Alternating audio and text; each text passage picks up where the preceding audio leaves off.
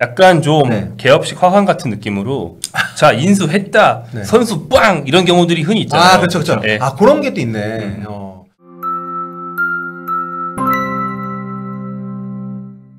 자, 요즘 축구 참 안 되고 있는 토트넘입니다. 선수도 어, 팀 동료들 그리고 감독과 함께 좀 마음고생을 많이 하고 있을 요즘인 것 같은데 네.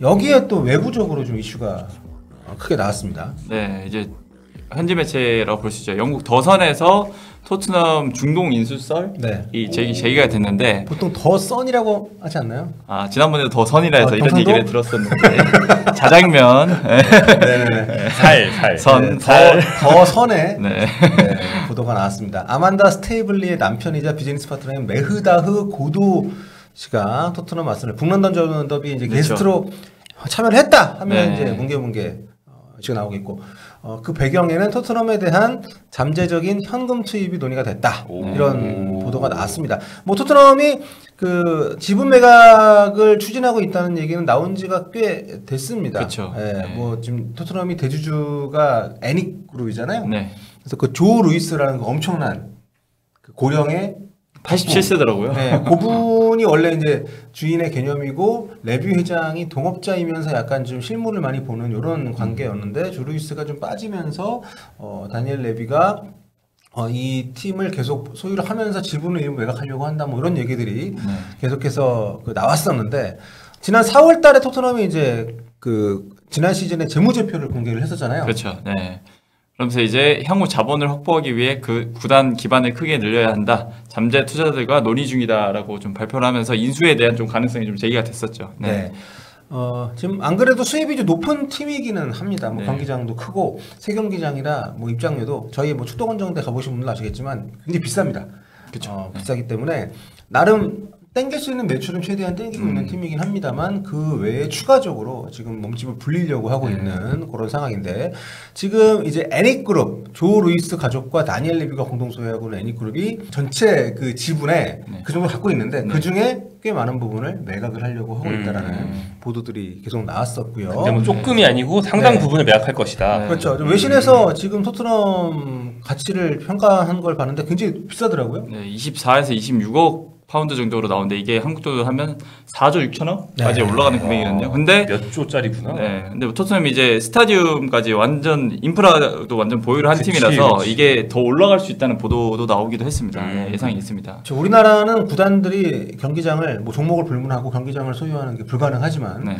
여기는 본인들이 짓고 그걸 바탕으로 해서 돈을 또 벌어들일 수 있는 맞습니다. 구조가 되니까 일단 구단적으로 네. 새로 왔을 때 추가 투자로 뭐 경기장이나 이런 뭔가 대규모 투자를 일으키지 않아도 된다는 것 자체가 좀 어떻게 보면 메리트니까. 그렇죠. 다른 팀들 같은 경우에는 뭐 빚도 좀 갚아야 되고 네. 뭐 기반 시설도 그 맨유 같은 경우도 그 인수해 놓고 아직도 그 경기장 네, 화장실 오줌이 그러니까요. 넘친다. 네. 뭐 투자 좀 해라. 이런 얘기 나오는 게 이제 그런 것하고 맥락이 통한다고 할 수 있겠는데 아무튼 5조 가까운 가치 취급이 된다면은 음.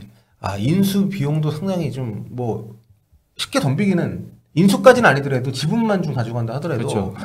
어, 여기 이거 쉽지 않을 것 같은데 지금 이제 거론되고 있는 것들이 앞서 언급했던 이 스테이블리 그 쪽 자본 그 네. 외에도 맨유 인수를 추진했던 셰이크 자심 오. 요분은 상당히 진심으로 엄청난 액수를 또 베팅을 했던 분이잖아요. 그렇죠. 네. 그러니까 축구에 네. 관심도 많고 일단 구단 하나 사고 싶은 것 같아요, 확실히. 그리고 미국 투자자인 MSP 스포츠 캐피탈 및 777 파트너스 네. 그리고 파리 생제르맹의 나세르 알 켈라이피 회장 오. 어, 이렇게 되면 이강인, 손흥민 자매구단 되는 거예요. 네.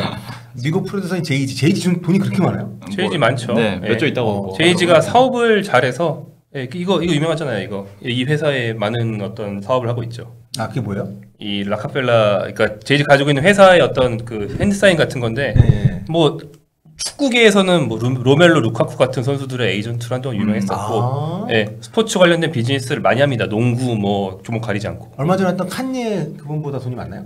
그건 모르겠. 아, 돈 그거- 돈은 많겠죠. 네, 아, 그건 더 많을 것 같습니다. 카니에는 아, 그런 이분은 음악만 하시고. 카니에도 아, 사업도 많이 하시고. 카니에는 사업도 하는데 카니에는 약간 좀 공인된 네. 네. 정신적인 좀 그 불안정성이 있어서 사업을 꾸준히 전개를 못하고. JG는 늘 영리하게 행동해 왔기 때문에 아, 네. 그분이군요. 자, 그 중에서 지금 앞서 언급했던 이 스테이블리, 요 분이 예전에 그 뉴캐슬 인수 때도 네. 관여를 했던 분인데, 맞습니다. 저희가 좀 네. 이따가 윤영 기자 소개를 해드리겠습니다만, 스테이블리와 고도 씨가 토트넘 인수를 위한 투자팀을 구성을 했다. 네. 7월 보도에 따르면 스테이블리 회사인 PCP 캐피털 파트너스를 통해서 5억 파운드를 이미 자금을 어, 준비를 했다. 5억 파운드면은 9천억 원입니다. 네. 어, 이 정도면은 충분히 네, 좀, 네, 토트넘 초기 지분을 매입한 뒤에 추가 투자를 모색할 계획인 것으로 알려져 있다. 근데 이분이 여성분이어가지고 어, 축구계 투자에 사실 여성분이 개입되는 경우가 별로 없기 때문에 음, 그렇죠. 더 네. 눈에 띄는 분인데 이분이 프리미어리그 구단 인수 전문가로 통하죠 현재에서. 네, 일단 2008년에 어, 만수르가 맨시티를 매- 이제 인수를 할때 네. 당시에 이제 중계를 했던 인물로 처음으로 좀 떠오르게 됐고요. 네. 그 이후에 이제 2021년이었죠.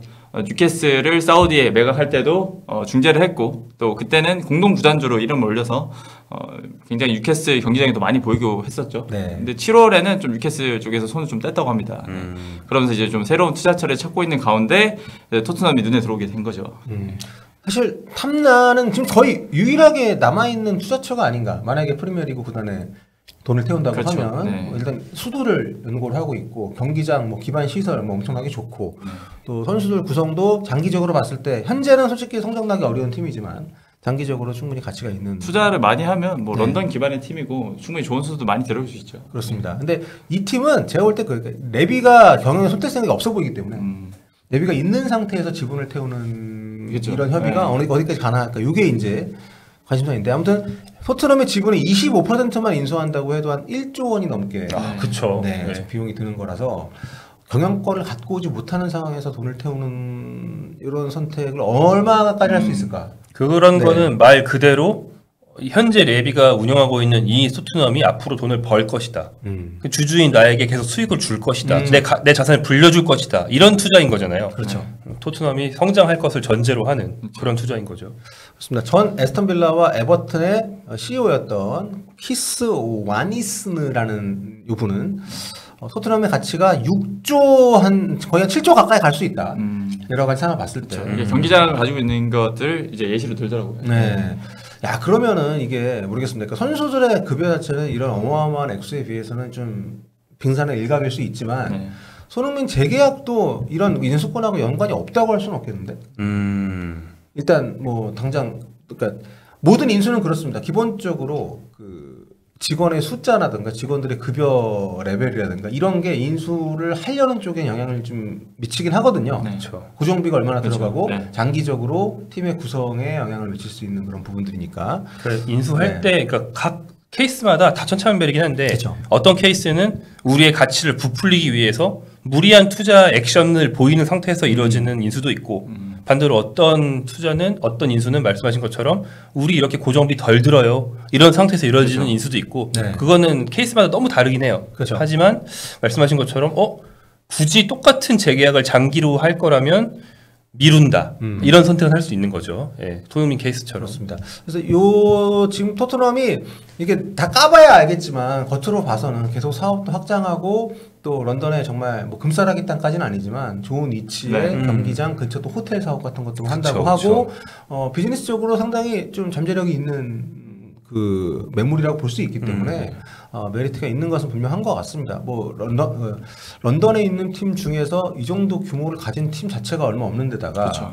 어, 다른 팀들은 뭐 이미 임자들이 있기 때문에 굉장히 좀 기대 기대 많이 좀 관심을 받고 있는 네. 그런 토트넘 이적 썰이고요. 역사적으로 큰 변화 아닌가요, 토트넘 입장에서? 아 그렇죠. 근데 전, 전통적으로 뭔가 이렇게 유대계 자본, 유대계 팬베이스하고 연관이 있는 팀인데 중동 쪽으로 이게 아. 좀 연관되는 거는 좀 어, 팬베이스 층에서 더 반발이 있을 수도 있겠다는. 생각이 들긴 네. 하는데 그렇겠죠. 네. 근데 아무튼 굉장히 좀, 어, 이렇게 계속 수개월, 수년에 걸쳐서 인수에 관한 썰이 나오고 있는 걸 보면 분명히 요 지금 최대 지분을 갖고 있는 쪽에서는 이걸로 어떻게든 좀 땡기려고 하는 생각이 있는 네, 것 같은데 것. 이게 언제 진행이 될지 손흥민이 있을 때 변화가 있는 게 좋은 걸까요? 아니면은 손흥민 선수 있을 때는 그냥 이대로 음. 가는 게 좋은 걸까요? 그냥 개인적으로 어떻게 생각하십니까? 저는 있는 게 좋다고 생각합니다. 그냥 그냥 약간 좀 네. 개업식 화환 같은 느낌으로 자 인수했다 네. 선수 빵 이런 경우들이 흔히 있잖아요. 아, 그렇죠, 그렇죠. 예. 아, 그런 게 또 있네. 어, 저- 안 그런 팀도 있었지만. 네. 안 그런 팀도 있었지만 네. 보통은 이렇게 하니까. 어. 예. 그리고 이제 만약에 이번 네. 시즌 끝 안- 안에 인수해서 다음 시즌 앞두고 갑자기 뭐 뉴캐슬, 첼시 이런 데처럼 막 선수를 막 그렇죠. 엄청나게 네. 투자를 할수 있지. 토트넘은 뭐 우리가 그동안 인건비를 많이 잘 통제해 왔고 수익이 많다고 알려져 있다 보니까 PSR이나 FFP 차원에서도 꽤 많은 룸이 남아 있는 걸로 알려져 있잖아요. 어 만땅까지 땡겨. 예, 만땅이야. 만땅으로 가득 주세요. 이거 한번 하면 이제 네. 그동안 기름을 반만 넣어왔던 토트넘 입장에서는 어 우리가 풀 충전을 할 수 있다고 음. 한번 올 수 있지 않을까. 네, 그럴 수 있죠. 그러니까 손흥민 선수가 지금 사우디에서도 계속 이제 오퍼를 하고 있다는 그쵸. 얘기가 나올 정도로 어떤 세계적으로 매력적인 그런 그 뭐랄까 영입 후보자이긴 합니다. 그럼요. 그렇기 때문에 네. 어, 누가 인수를 하든 뭐 손흥민 선수가 이 팀에서 이렇게 좀 나가주세요 할 것 같지는 않거든요. 음. 어, 상징적인 뭐, 존재이기도 하고 팀의 legacy를 이어갈 네. 수 있는 선수가 한 명 손흥민 한 명 남았어요. 아 그렇네. 네. 벤 데이비스하고 손흥민 네. 둘 정도인데 벤 데이비스를 뭐 벤 데이비스는 이번에 그 컵 대회에서 아주 정말 기가 막힌 태클 하나 해줬긴 했지만 네. 어, 하여튼 뭐 토르멘스 존재감에 영향을 미칠 수 있는 그런 사건이 아닐 수도 있긴 하지만 어쨌든 토르멘스 개인적으로 봐도 이런 정말 입단하면서부터 거의 평탄하게 왔잖아요. 이 팀의 어떤 지배 구조라든가 이런 네, 것들은 이게 바뀌는 거는 좀 더 큰 변화일 수 있는데 네. 또 얘기를 들어보니까 정말 어, 인수한 김에 2025-26 시즌에 정말 막 갑자기 막 엄청난 선수 영입하고 네. 이런 가능성도 뭐 없진 않을 테니까 재미있어질 수는 있겠네요. 희망사항이지만 네. 그랬으면 좋겠다. 네.